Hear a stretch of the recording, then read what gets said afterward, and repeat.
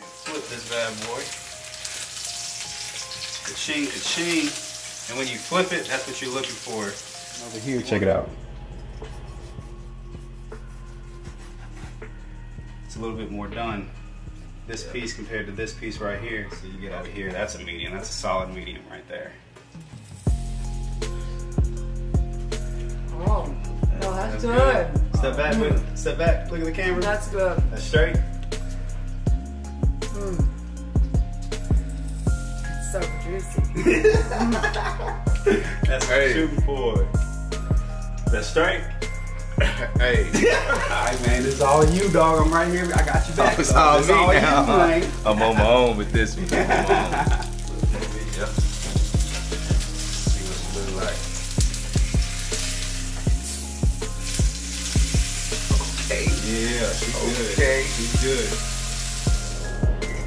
Gonna slice in this Little bag. slice in it. I can already tell, man. It's it's good.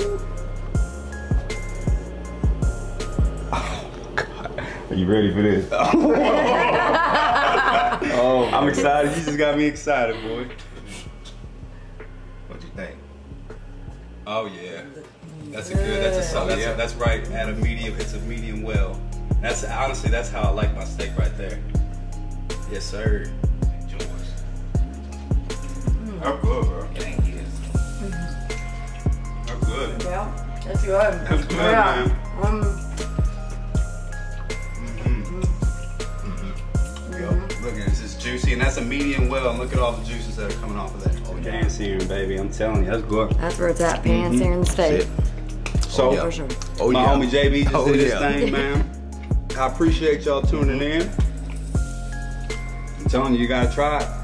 Like I said, don't be discouraged if it doesn't come out good the first time you do it, just because pan searing is tricky getting down if you've never pan seared before. If you know how to pan sear, hey, I'm telling you, try this recipe. Mm.